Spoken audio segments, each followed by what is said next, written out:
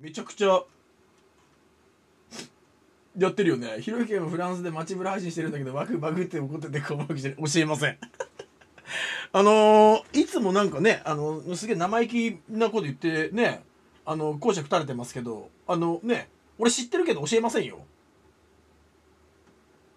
教えません。僕直し方。ひろゆき助けてくれ。バグりすぎてあいつ今どうせ3人だぞ。いや実力でしょ。絶対実力だよ。いやそれはなんかその YouTube のせいにするな。ん放送がつまんねえから3人しか見てないんだよ。なんでそんなさ世間のせいにするの？面白い放送しろ。いや実力でしょ。言い訳すんな。マジで。3人だって。普通に。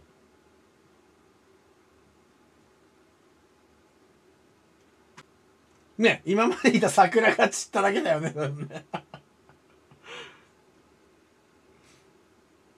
しょうがないでしょ。乗車必須の断りだよ。乗車必須の断り。俺はでも今すごく気分がいいです。マジで。本来さ、まあ、内容ももちろん面白い配信したいっていうのあるけどもう大前提としてやっぱさちゃんと配信できるサイトっていう安心感は担保されてなきゃやっぱ活動のモチベ下がるよな。これ動画上げてる人とか配信してる人だったら分かってくれると思うんだけど分かりやすく言うとさ俺の配信見たいと思ってんのに俺の配信見れない環境の人がいるっていうだけでもうモチベ下がんの。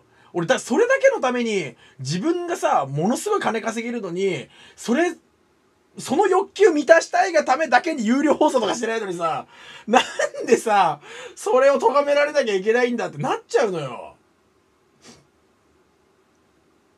そこだけなんだよな。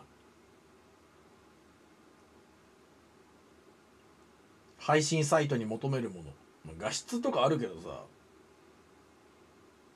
やりたい時にできる見たい時に見れるっていうそこってもうやりたい時にやれるのが脳みそ。見たい時に見れるのが心臓だよ。